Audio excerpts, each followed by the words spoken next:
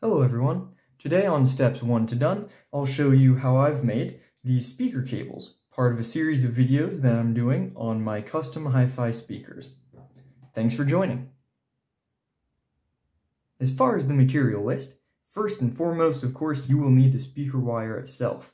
I chose 14 gauge pure copper stranded wire this was due to the specs and requirements I was looking to get for my particular speakers, the impedance values of them, and the cable length that I'm going to be making. I'll leave some resources in the description that were really helpful for me to figure out which cable would work best, but this is also what I'll use for the crossover uh, wiring as needed, and so this should work for most of your speakers out there, but again, use the resources if this is not it, go with the one that works best for your case.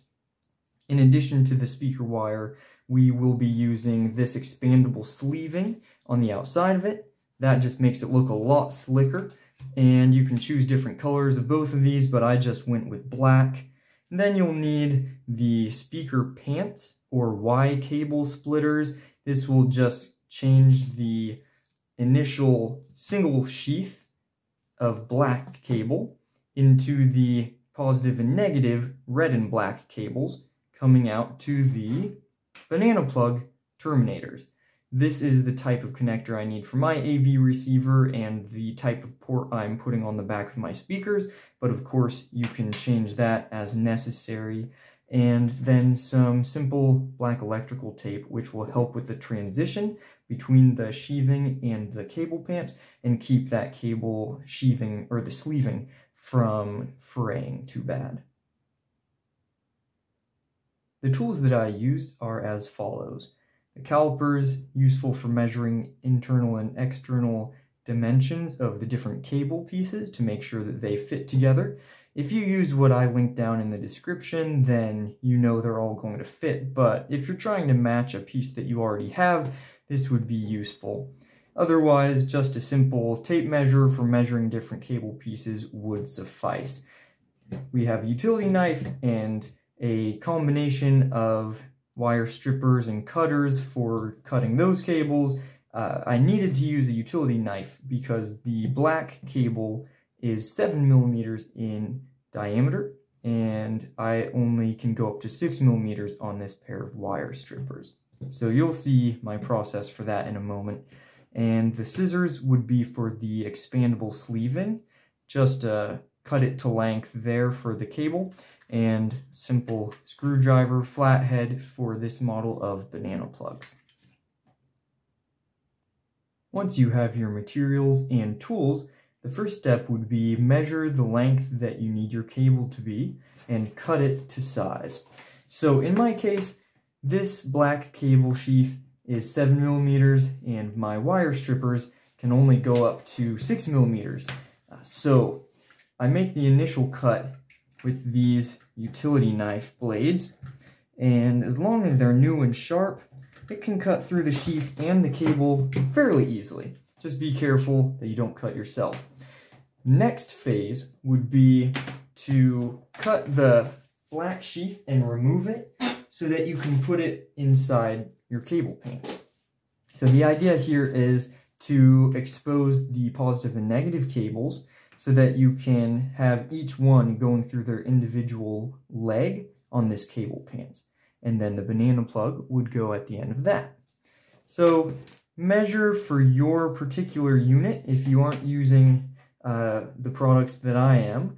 They might be a little different, but in my case, it's about three and a half inches. Um, what you want is just to expose those inside cables enough to have about half an inch to three quarters of an inch showing outside the bottom of these legs.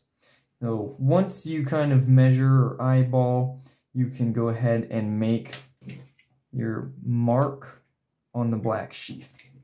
And again, my cable uh, wire strippers don't work on a cable this large, but I found that if I just make a gentle incision all the way around the circumference of this cable sheath, careful not to cut yourself or the inside wire, and I'll let you be the judge of which is more important to protecting. Um, but just making that incision all the way around and then bending this back and forth a little bit, you get a beginning of separation and kind of the second layer of this black sheath starts to turn gray or white, that strained plastic kind of appearance. And just continue very carefully until you can bend and start seeing the inside wire. All right, so I'm seeing it on this side. I need to clean up this cut. I did not meet very well from going around this time.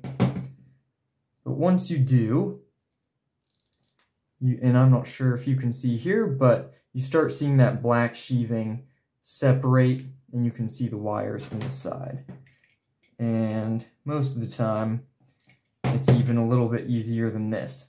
But on camera, everything is twice as hard and takes twice as long. But there you go.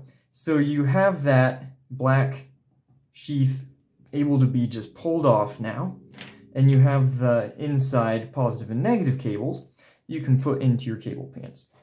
I find it easiest to leave one wire straight and then bend the other one at about 30 degrees or so. Put both of them inside the pants and wiggle back and forth, and then they usually just find their way out each leg. So again, the idea is to have enough out this side so that you can put it into a banana plug. Uh, at this point, we'll need to strip the cable and then we can attach the banana plug on and after that you'd probably want to leave the other end undone put the cable sheathing around uh, and then terminate the other side. So do what I'm doing to just one side then put the expandable sleeve on and then do this to the other end.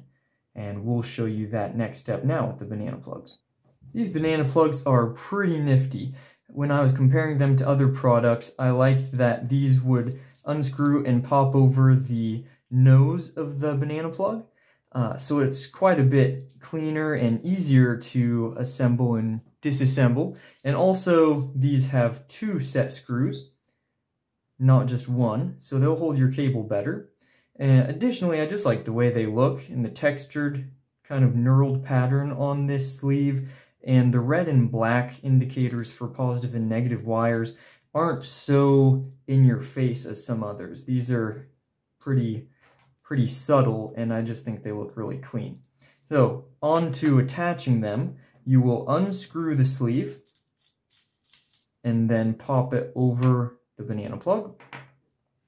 You'll want to loosen the set screws without letting them fall out onto the floor and getting lost. And that might be the hardest part of this whole job. Uh, if you have not done this before, you can look through the very opening here on the bottom uh, and just make sure that you have enough for the wire and that's really all you need. Um, yeah, with this project, it's my first time doing speaker cables and I have to say it's quite fun. Uh, not too intimidating, I think, after the research that I did and it's it's a blast being able to make these and then use them. So let me know if you are in the same boat with this your first time and what things you may have learned that that would be helpful for me and others. So once you are ready, just use your cable strippers. I'm doing uh, this automatic one, but just follow the instructions for yours. And you'll want to gently twist the strands, and then I find it to be comforting if I just gently twist this in the same direction as well so I know it's not going to um, un unravel or mess those strands up. And this cable pant that I bought is actually um, a pretty snug fit into the bottom of these banana plugs. So that was one measurement I did not really take into account, but these just happen to work really well together. It doesn't really come off um, once you put it on there. And with the set screws, of course, being the main hold, that's just an, an added bonus. So tighten up your set screws and make sure that you keep track of, uh, I would, I would, you know, finish one wire and then do the others so that you can be certain that you're putting the right collar or sleeve on. This is the red cable, so finish, do the red sleeve on it, and then go and do the black cable. And it's going to be the same steps for that, so I won't make you watch it, but once you're done with that, we'll do the expandable sleeve. We are getting close to the end. You have at least one end finished and terminated. You could do this before even, but I like having one end finished so you have a nice delineated stopping point. Hopefully the second end you have not done yet, so that it is a little easier to put on the expandable sleeving. You can do it even if you've terminated, just take off the banana plugs, slide it over the sleeve. It will fit, it's just a little harder.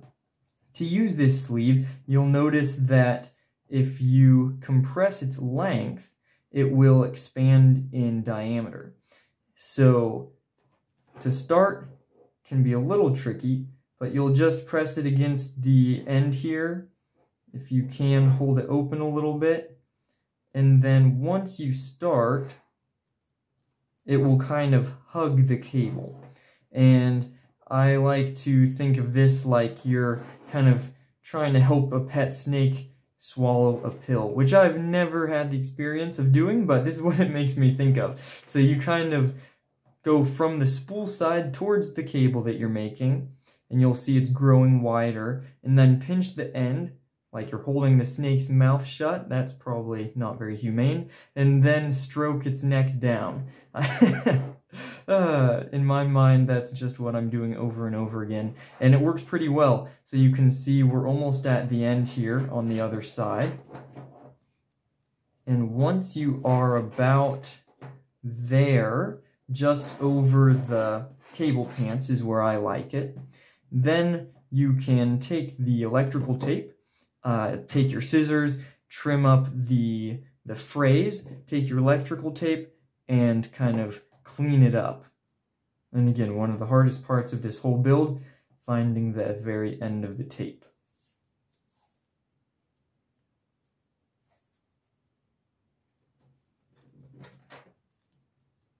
If you had some heat shrink tubing, which I don't, that could also be a good clean way to do this transition. But I really don't mind how this looks. As long as I keep it tight and try to end it straight. Uh, and I, I could have trimmed the frays off there a little bit more. I probably should have, but that is the transition there. Well, as you can see, trimming the frayed ends of the expandable sleeving does leave a little mess, but really uh, simple job done. And with the electrical tape, the transition almost blends the texture of the sleeving into the texture of the cable pants, and I think that looks pretty slick. As you can see, we've terminated both ends, taped it up, so they are looking pretty and ready to use in our set of custom hi-fi speakers. Thanks for watching, and I hope to see you in my next video.